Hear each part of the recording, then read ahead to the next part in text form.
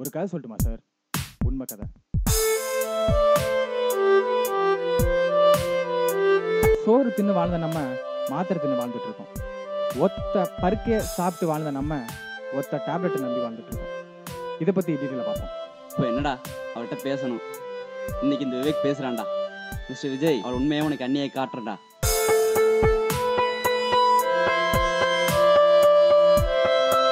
எவண்டி குடிக்காம இருக்கான்? பிறந்த குழந்த. பால் குடிக்குது வளர்ந்த பொண்ணு. பூஸ்ட் குடிக்குது காலேஜ் போனோன்னே பியர் அடிக்குது கல்யாணம் பண்ணோன்னே சரக்கு அடிக்குது. சாராயம் குடிச்ச எங்களை ஸ்டிக்கர் ஒட்டின பாட்டிலில் குடிங்கன்னு அரசாங்கமே ஆர்டர் போட்டிருக்கு. சொல்லப்போனால் குடிக்காமல் இருக்க நீங்களாம் தான் ஆன்டி இண்டியன்